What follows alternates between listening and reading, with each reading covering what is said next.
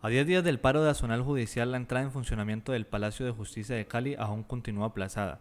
Por un lado, los funcionarios que están en asamblea permanente dicen que la estructura no brinda las garantías de seguridad para empezar la atención al público, pero por el otro, los organismos de control y el Consejo Seccional de la Judicatura aseguran que el edificio es habitable, pero siempre y cuando se le realicen los últimos ajustes.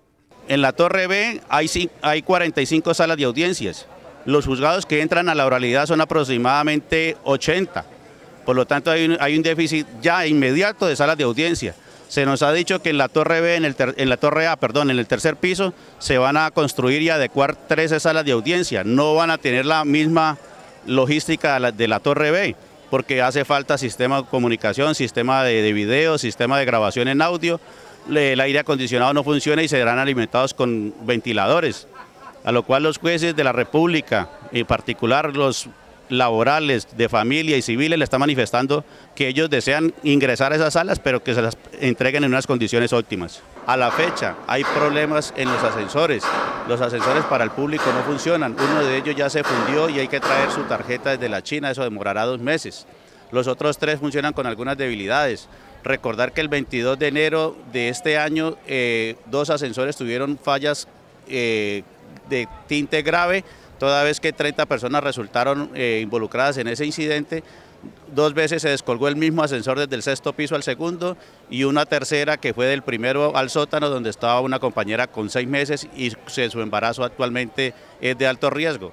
La caída de los ascensores puede generar mayores complicaciones para la Administración de Justicia de Cali y de eso hacemos responsable a la Administración Judicial, al Consejo Superior y Seccional de la Judicatura, porque fueron los entes encargados de, hacer las contrataciones y de verificar cada uno de esos acontecimientos. Nos pretenden hacer ingresar con la certificación de que emitió el contratista de la obra, en este caso concreto de los ascensores, que dice que los ascensores funcionan bien. Esa, esa certificación está recibida desde el 27 de enero y los, incidentes se presentaron de manera paulatina desde el 23 al 27, lo que significa que esa persona está faltando a la verdad dentro del contenido de ese documento de carácter oficial. Los bomberos hicieron una prueba y aquí sobre el costado de la novena conectaron un camión cisterna para habilitar el servicio de agua al edificio. Eh, hay una avería en el cuarto piso de la torre A que es la que comunica y alimenta toda la red hidráulica de emergencia y con, esa, con, esa, con ese daño se falló el sistema de presión de la torre B y el agua solamente ascendió hasta el segundo piso. Los cuerpos de bomberos lo manifestaron en un informe y ellos dicen que primero el contratista debe terminar la obra, presentarse a la administración judicial y posteriormente oficiarle al cuerpo de bomberos para que ellos hagan la verificación. A partir del piso sexto hacia arriba, esto es una antorcha todas las paredes son en panel yeso, nosotros manejamos bastante papel porque son expedientes que manejamos. Y el cielo falso de la, edificación es eh, Icopor.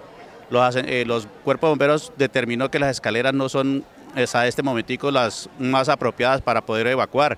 Hacen falta escaleras contra incendios de, eh, de carácter externo.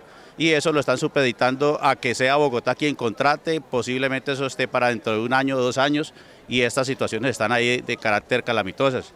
Los sistemas de cómputo y de red en estos momentos que están instalados en el edificio, los servidores eh, de sistemas no están funcionando completamente. Hay debilidades con el sistema siglo XXI. Ese sistema le aporta a los despachos la oportunidad de poder hacer los traslados, los edictos, de poder recopilar y ordenar los títulos judiciales para los diferentes usuarios.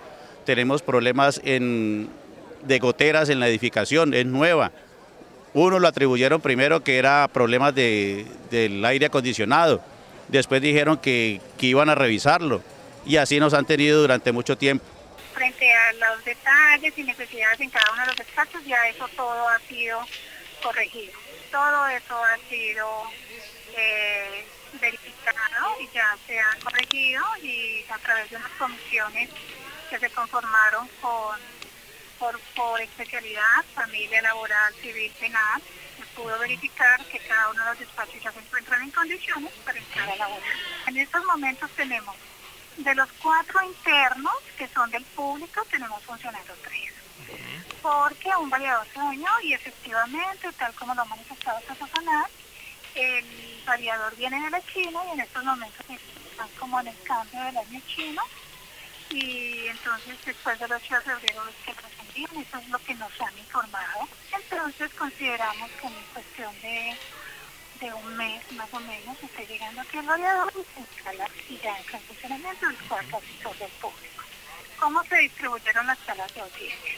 A los laborales se les asignaron 11 salas para que sean coordinadas y programadas entre ellas, que son 16 laborales.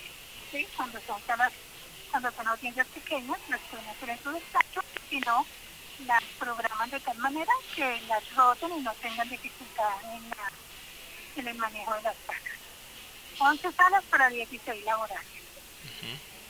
Dos de familia que en estos momentos están en realidad tendrán cada uno su sala. O sea, dos salas para familia.